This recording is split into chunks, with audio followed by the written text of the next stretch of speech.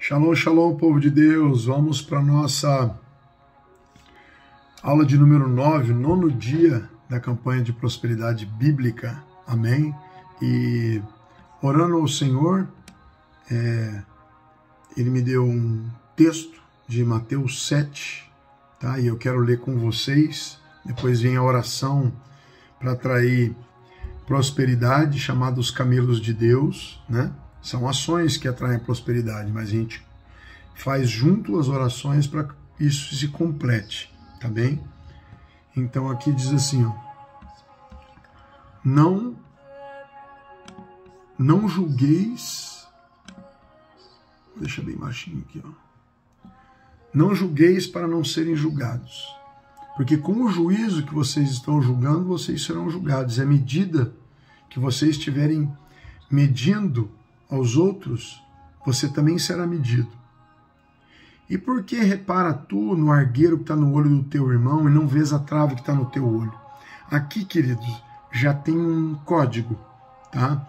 Aqui, por que, que você observa a prosperidade do teu irmão e não pratica para poder ter a própria, para poder ter a tua, tá? É, como você pode dizer para o teu irmão, deixa eu tirar aí a trave que está no seu, o, o, o cisco que está no seu olho, estando uma trave no seu. Tá? A Bíblia é para a gente não ficar se comparando aos outros, mas a Bíblia é para a gente poder é, transformar a nossa história, transformar a nossa vida.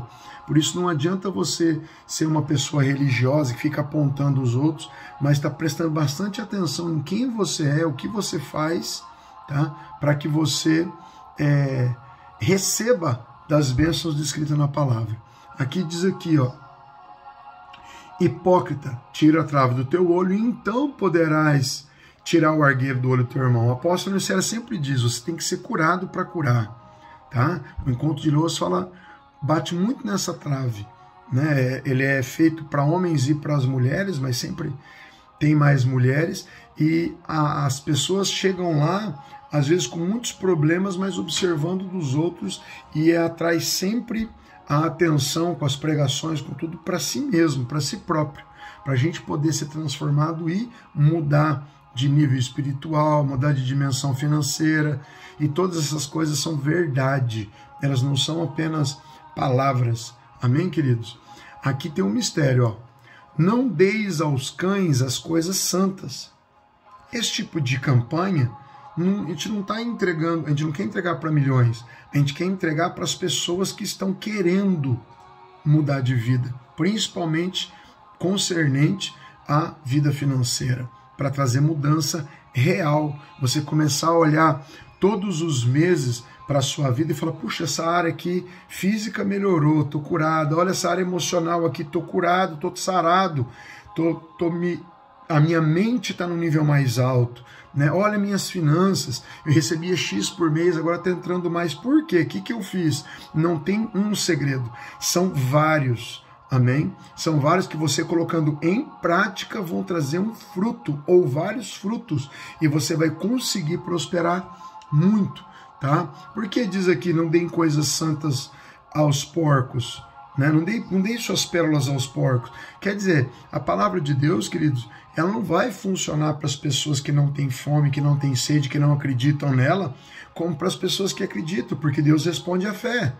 Se Deus vem responder as suas ações, olha, eu escutei, entendi e pratiquei. Aí Deus vem com os frutos. Deus não vai entregar os seus frutos para qualquer. Deus não faz assim. O próprio Jesus olhou para o céu e falou: Pai, eu te agradeço que não entregaste os teus mistérios aos, aos doutores, né? aos grandes, aos sábios, mas entregaste aos pequeninos. Pequenino aqui está falando muito claro que são aqueles que são dependentes do Senhor, que acorda cedo já agradecendo, já clamando, já pedindo, Senhor, vem, entra na minha vida, muda minha história. Amém? E o versículo chave é o 7, que diz aqui, ó: Pedi, pedi, dar-se-vos-á. Buscai, buscai, encontrareis. Batei, batei, abrir-se-vos-á. Por que está dizendo duas vezes pedi, pedi, buscai, buscai, batei, batei? São ações em sequência, são ações contínuas de nós, servos de Deus, para conseguir algo. A pessoa que não quer muito, ela pede uma vez. A pessoa que. Quer dizer, a pessoa que não, não tem muito interesse, ela pede uma vez e esquece. O servo de Deus é como aquela viúva que chegava no juiz e, por teimosia, por insistência, por persistência, ela recebeu a vitória da mão daquele juiz. Amém? Mesmo o juiz sendo alguém que não temia a Deus, ele resolveu o caso daquela mulher por persistência. Nós temos que ter persistência diante do Senhor. Deus tem que ver que você quer muito. Então você não age com um código, você age com todos. Por isso essa campanha, ela, ela tem vários códigos para você praticar vários para você ver o resultado. Tem gente, por exemplo, que quer ser dizimista, ela dizima um mês e quer ver um resultado gigante. Ficou lá anos sem dizimar, ela dizima um mês e quer ver resultado. Dizime seis meses para você ver o que acontece. Tá? Porque você tá, vai entrar em concordância com o céu e Deus vai estar tá derramando aquilo de uma maneira abundante para a tua vida. Aí você vai ver e fala: Meu Deus, é, diferente das circunstâncias que eu vejo, minha vida está prosperando, né? eu tô, estou tô avançando em todas as áreas. O servo de Deus não pode ficar estacionado. Por isso aqui, ó, sequência de prática. Pedir, pedir é uma prática.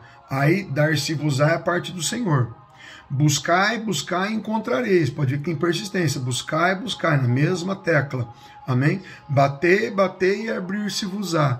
Então quer dizer, para receber a bênção, né? De aqui está escrito dar-se-vos-á, é de Deus está dando, tem que ter persistência. A, o fruto de você buscar, buscar é encontrar, é Deus que deixa você encontrar. É, Bater, bater e abrir-se-vos-á, persistência sua. O abrir as portas vem do Senhor. Tem gente que não acredita que Deus é um Deus que abre porta. Vai na igreja, vai na igreja, duvida, não pratica. Queridos, é, eu vivi isso.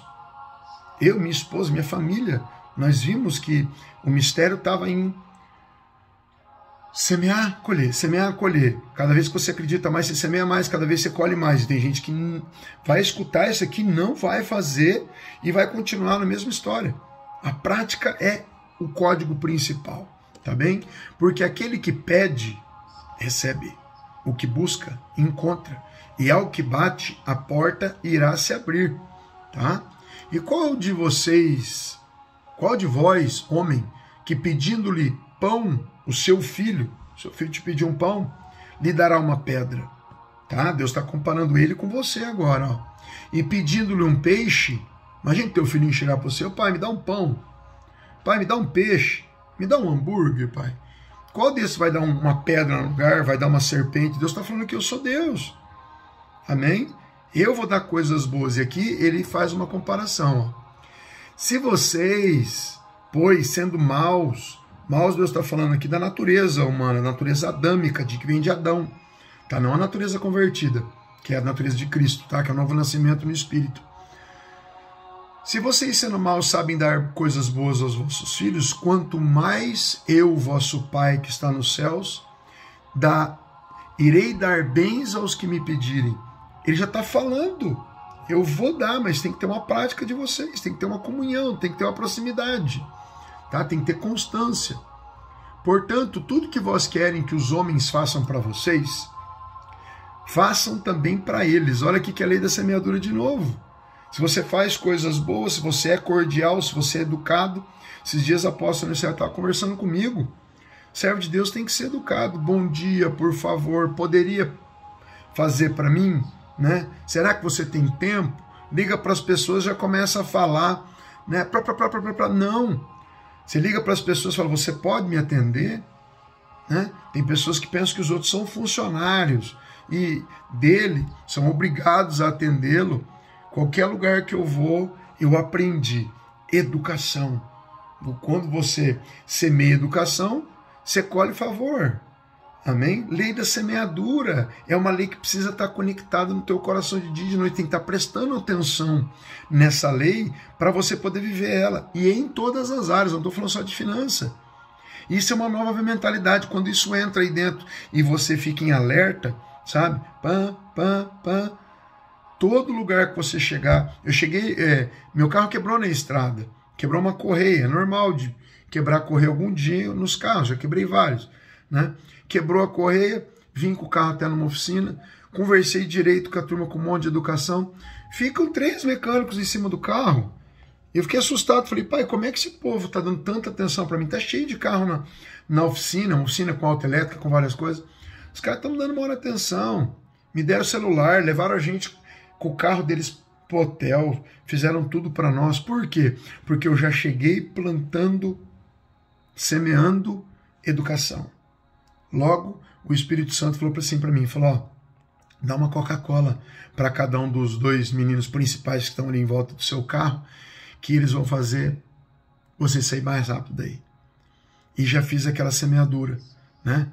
O rapaz passou o celular dele para mim, antes das 8 horas da manhã, ele mandou um recado, ei, aconteceu mais um negocinho no seu carro, um tensor de correia lá, e você quer dar uma olhada, né? Que a gente não viu ontem, e ele está vibrando, poderia quebrar, né? Eu falei, pois não, já cheguei lá cedo, já arrumamos, já estão enviando a peça para cá. Tudo por causa de prestar atenção no que eu estava plantando naquele lugar. Eu sou um estranho, eu nunca tive naquele lugar. Eu cheguei com muita educação, eu semei educação, eu semei uma oferta, e quando eu vi, está tudo acontecendo da melhor maneira. Passaram meu carro na frente de outros carros para poder me atender. Amém? Mas eu entendo a lei da semeadura.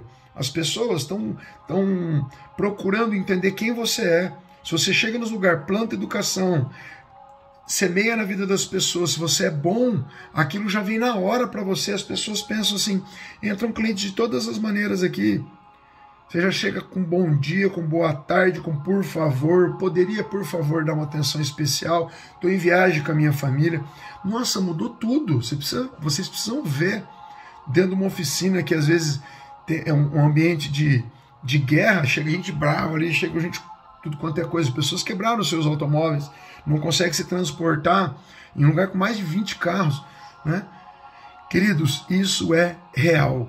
Lá no céu sai um, um, uma mensagem, sabe?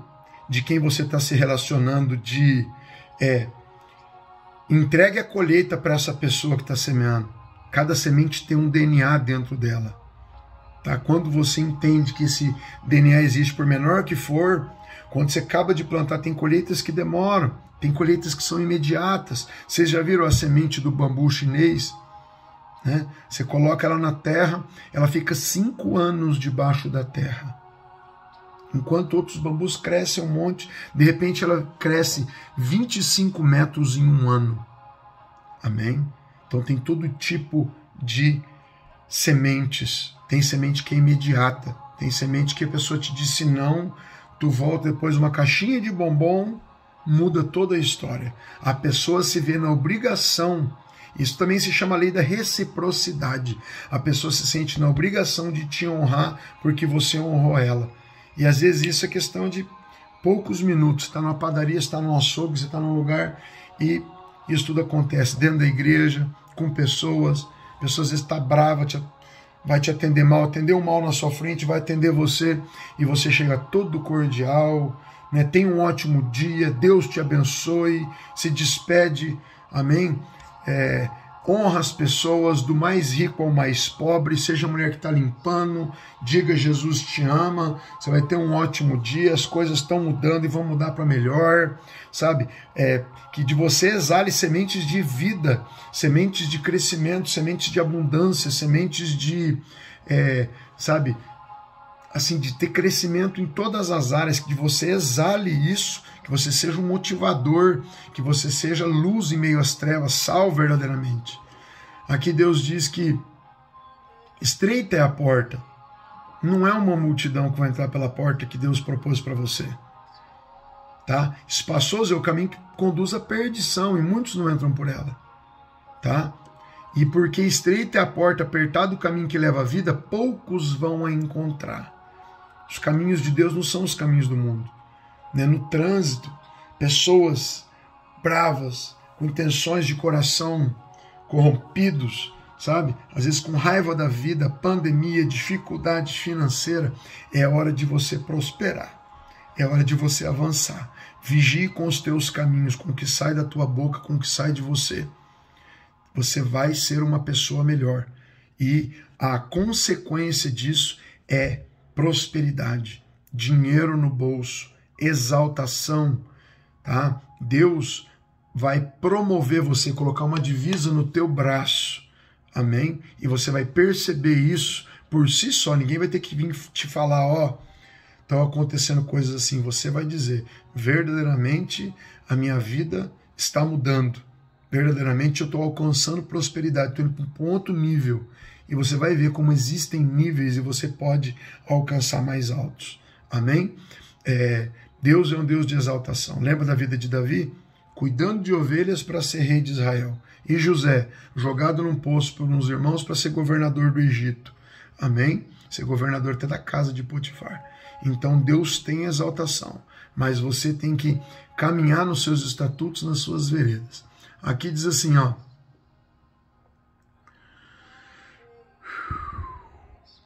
Muitos me dirão naquele dia: Senhor, Senhor, nós não profetizamos no seu nome, em teu nome expulsamos demônios, fizemos maravilhas. Então lhes direi abertamente: Nunca vos conheci, apartai-vos de mim, vós que praticais, a palavra-chave é praticar, iniquidade, praticais iniquidade. Tá? Aí vem um outro versículo mistério. Ó. Todo aquele, pois, que escuta as minhas palavras e as pratica, a palavra pratica de novo, Assemelhá-lo-ei ao homem prudente que edificou a sua casa sobre a rocha, e desceu chuva, correram rios, assopraram ventos, combateram aquela casa, mas ela não caiu, porque estava edificada sobre a rocha. E aquele que ouve as minhas palavras e não cumpre, compará-lo-ei ao homem insensato, que edificou a sua casa sobre a areia, que desceu a chuva, correram rios, sopraram ventos, combateram aquela casa e ela caiu, prosperar até a casa firmada na rocha. Amém? É até aqui que eu vou, que agora eu vou orar para vocês. Jesus ensinava como tendo autoridade e não como os escribas, escribas, né? A multidão toda se admirou da sua doutrina. A doutrina de Cristo entrando na sua mente, fazendo você praticar, atrai prosperidade. Amém? Vou fazer uma oração aqui agora. Ó querido Deus, Criador do mundo, Tu que disseste, Senhor, para nós, peça e receberá, embora o Senhor esteja aí nas alturas, em sua glória, divina glória, glória eterna. Incline os seus ouvidos, Senhor, a nossos a mim e aos nossos queridos humildes servos, Senhor, para satisfazer o desejo do coração de cada um. Ouve, querido Deus, a nossa oração, a nossa intercessão, Pai amado, e papai, que essa palavra que foi liberada agora, Senhor, que ela seja poderosa em nossos corações para nos transformar, para nos trazer uma nova doutrina, a doutrina de Cristo. Que nós venhamos a ser, papai, cordiais, Senhor, educados, ó Deus, entendemos, papai, a lei da reciprocidade, a lei da semeadura, que nós venhamos plantar, meu Pai, vida, amor, gratidão todos os dias por onde nós passarmos, ó Pai. E Senhor, eu também quero te pedir que atraia, assim como aconteceu com Jesus, atraindo com os seus camelos. Eu gosto muito dessa oração, Senhor. Que o Senhor atraiu camelos carregados de mirra, incenso, azeite, até onde estava Jesus, que o Senhor venha atrair com os teus camelos toda sorte de bênçãos para a vida das pessoas. Tu és o Deus que supriu a necessidade de milhares de pessoas no deserto, milhões de pessoas no deserto. Tu és o Deus dono do ouro da prata, Deus que supre as necessidades, e nós não vamos, Senhor, abandonar a doutrina de Cristo, nós não vamos esquecer da tua palavra, mas vamos citar, porque o Senhor é o mesmo ontem, hoje eternamente. Prospera os teus filhos com toda sorte de bênçãos, em nome de Jesus, que nós venhamos a entender essa palavra, que ela não caia, Pai, como semente no meio de pedras Papai, que ela não seja sufocada, mas é que ela cresça e dê muito fruto, de 30, 60, 100 até mil por um, em nome de Jesus. Tá bem? Que Deus te abençoe. Até mais. Até a próxima aula. Tchau, tchau.